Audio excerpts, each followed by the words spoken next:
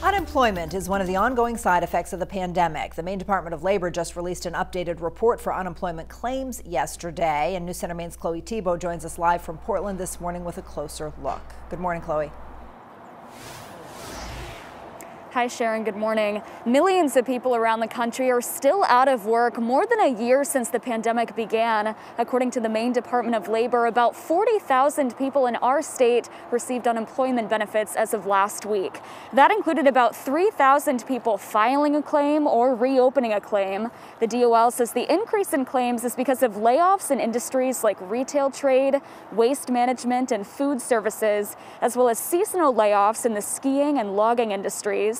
The DOL says part of the increase could also be from claimants qualifying for a new benefit year. That requires them to take a one week break from filing weekly claims so they can continue getting unemployment benefits.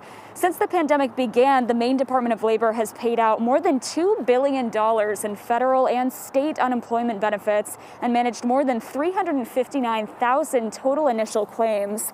There is a new website in Maine, though, that launched this week designed to help people dealing with unemployment find a variety of resources they may need. I'll have details about how that tool is a bit different than others we have right now coming up in the next half hour. Live in Portland this morning, Chloe Teboe, News Center, Maine.